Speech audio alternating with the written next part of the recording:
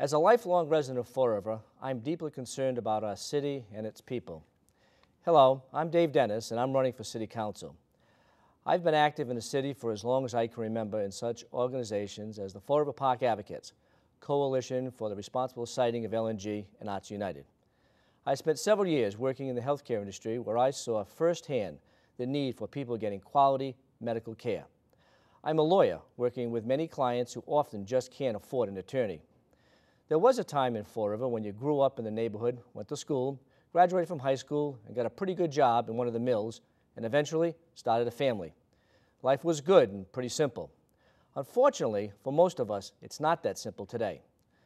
The priorities of this great city have to change, and change now, or we'll never be able to catch up. I've been working for the past several years on programs that I believe will restore Fall River to greatness.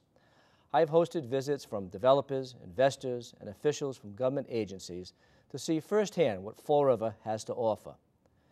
But returning Fall River, or any city for that matter, to greatness is no easy task. But I have specific programs in mind to achieve this goal. First, Fall River is going to have to decide what it wants to be and where it wants to go, then create a long-term strategic plan to get us there. We have never implemented a master plan and stuck to it long enough to see any real results. If we have no blueprint to guide us, how can we ever rebuild our city?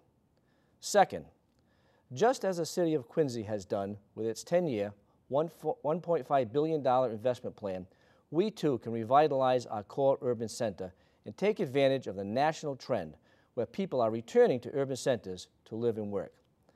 Finally, I have long advocated for the idea that education equals economic development equals jobs equals revenue.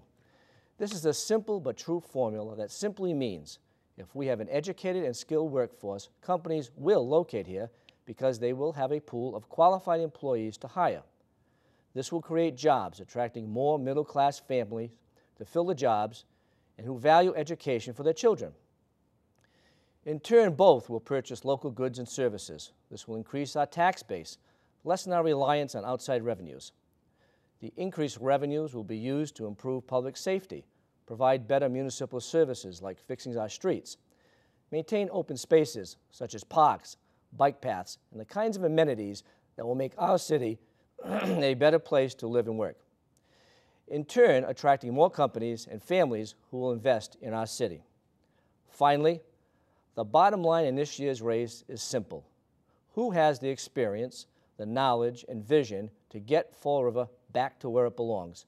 Not only as an all-American city, but a city we can be proud of and create a true quality of life for our children and grandchildren. I'm around. I'll be in your neighborhood, and I'm available to you. I'm promising you nothing other than one fact, and that is no other candidate will work as hard for you as me. I'm Dave Dennis, and I'm asking for your vote on Election Day, Tuesday, November 8th. Thank you.